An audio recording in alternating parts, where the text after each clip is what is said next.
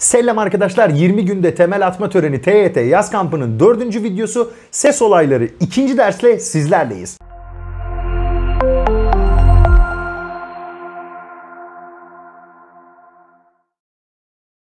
Hemen bakalım neler yapmışız. Ünlü düşmesine gelmişiz bu sefer.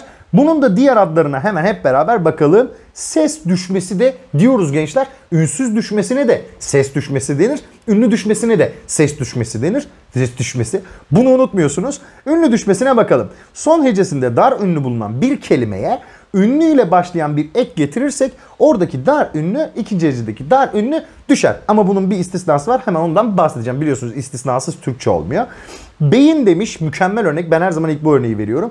Beyin i ekini almış. İkinci hecesinde dar ünlü var. Hatırlayın I, i, u, ü'ydü. Dar ünlüler neye göre belirleniyordu hatırlar? Çeneye göre belirleniyordu. A, e, çene açıktı. I, i, çene basıktı. Okey? İ gelmiş buradaki i düşmüş. Şöyle bir durum var gençler. Eğer bir sözcükte ses olayı varsa ve siz bu ses olayını yazıda belirtmiyorsanız mesela gidip buna beyni yazarsanız bu bir yazım yanlışı olur. Bunu unutmuyorsunuz. Diğerleri için daha önemli. Bunlar çok belirgindi. Oğul mesela um gelmiş. Oğlum değil oğlum oradaki u düşmüş. Yapım eklerinde de gerçekleşebiliyor gençler. Sadece çekim eklerinde değil. Mesela uyumaktır kelimenin kökü. Ku'yu almış uyuku. İyi lol oynamayan Koreliye ne denir? Ne denir? Japon. Japonca gibi oluyor böyle olduğu zaman. Uyuku şeklinde değil uyku. Buradaki u düşmüş. Kelimenin kökünü bulurken sıkıntı yaşatabilir bize yapım ekleri. Bunlara dikkat ediyorsunuz. O yüzden bir önceki videoda eklerden bahsetmiştik gençler. O ekleri iyi ezberliyorsunuz. Yanlış söyledim. Ezberlemiyorsunuz. Mantığını iyi kavruyorsunuz demiştik. Kahve. E şimdi a, e bir geniş ünlü. E çenem açılıyor. Ama burada birleşme sırasında da ünlü düşmesi görülür gençler. Kahve bir kelime, altı bir kelime, kahve altı birleşmiş. Bunu daha önce de söylemiştim gençler. Kahve altı eski kültürümüzden geliyor. Hani daha kahvaltı etmeden önce kahve içiyorlar ya onlar Türk kahvesine biraz bağlıyız biz. Kayıp olmak kaybolmak, kaybol bu kayıp kelimesinden çok fazla soru geliyor gençler. Kaybolmuştu falanlar gibi. Onlara da hep beraber bakacağız. Burada da ne olmuş? Birleşme sırasında ünlü düşmesi yaşanmış. Bu bir soru kalıbıdır gençler. Birleşme sırasında ünlü düşmesi yaşanmıştır derse bunları arayacağız. Bir de türetilirken ünlü düşmesi olmuştur diyor. E türetilirken ünlü düşmesi ne demek gençler? Türetmek ne demek bir sözcüğe? Yapım eki getirmek demek. Okey? Bunlara dikkat etmeniz gerekiyor. Hemen şöyle devam edelim gençler. Acayip kökler. Şimdi gençler acayip kökler kısmında şöyle bir aktivite yapacağız. Ben bu kelimelerin köklerini bulup eklerini ayırmadan siz videoyu durduracaksınız ve ek köklerini ayıracaksınız gençler. Buradaki kökler gerçekten arızalı. Bir durdurun bakalım neler bulabileceksiniz. Bana yorumlarda belirtin gençler. Hemen geldik. Ne demişiz? Benzettim kelimesi. Hadi kökünü bulun. Benzettim kelimesinin kökü benizdir gençler. Beniz hani betim benzin atmış derler ya. Yüz, çehre. Okey? Buna e ekini getirdim ben. Benzemek oldu. Ortadaki i düştü. Türetilirken ünlü düşmesi yaşamış oldu. Çünkü beniz farklı şey, benzemek farklı şey. İsimden fiil yapmış oldum. Bu da yapım eki olmuş oldu. Kavşaktaki kelimesinin kökü nedir arkadaşlar? Kavuşmaktır. Kavuşmak. Bu ak ekini almış. Kavşak olmuş gençler. Enteresan değil mi?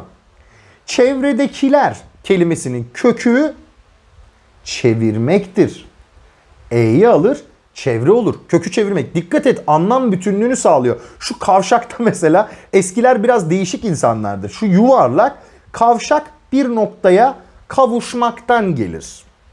Yok ya. Odunların kelimesinin kökü çok zordur arkadaşlar. Bunu sizlere soruyorum. Ben cevaplamıyorum. Bana bu kelimenin kökünü bulun gençler ve yorumlarda belirtin. Bakalım kim doğru bilecek.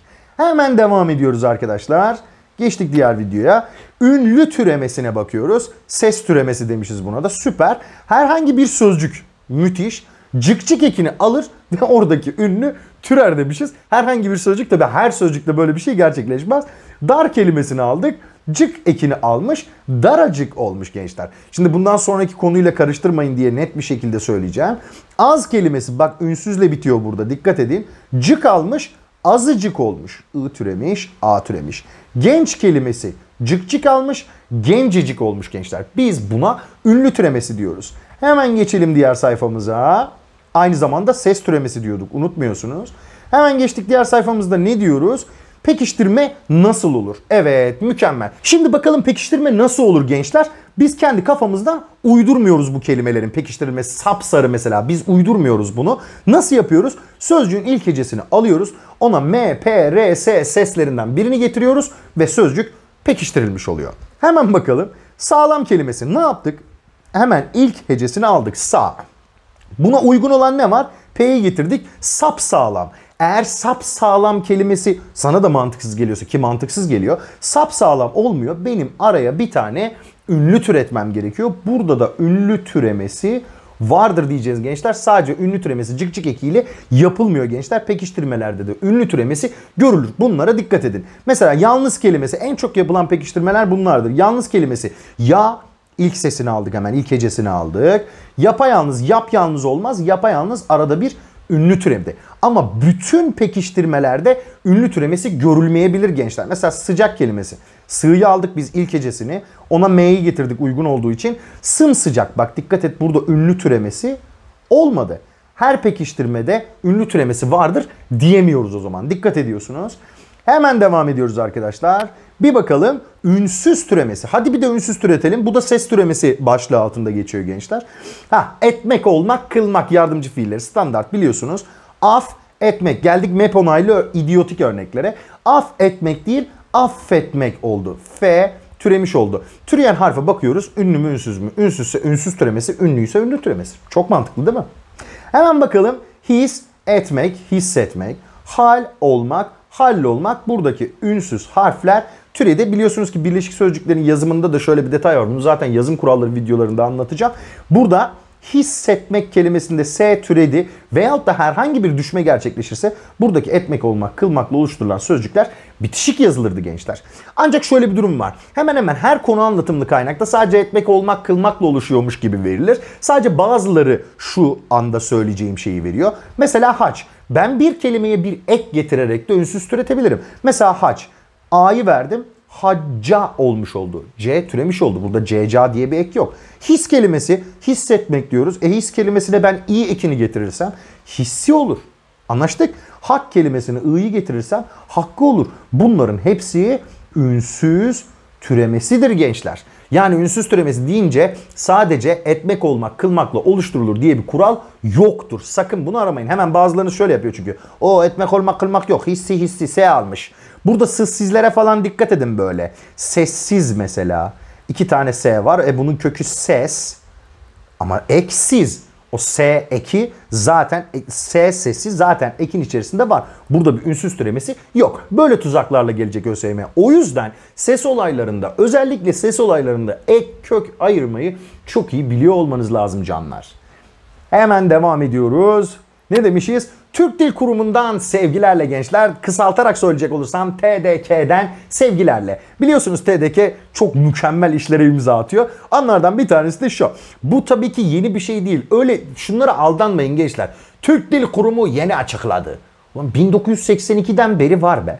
Yani o, o açıkladığı kural 1982'den beri var. Sen yeni duyduğun için o yeni açıkladığı başlıklarına çok aldırış etmiyorsunuz gençler. Bu da gayet eski bir başlık. Mesela içeri kelimesi D'da'yı aldı içeride.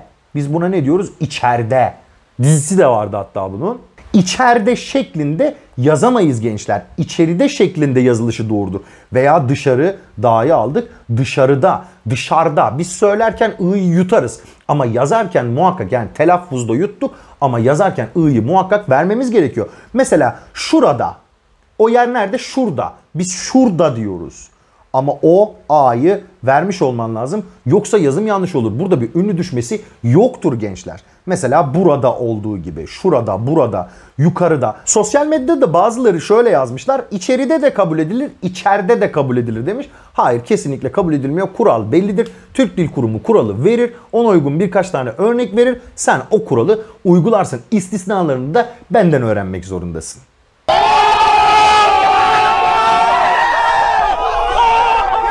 Hemen devam ediyoruz arkadaşlar. Ne gelmiş? Oo süper. Günün sorusu.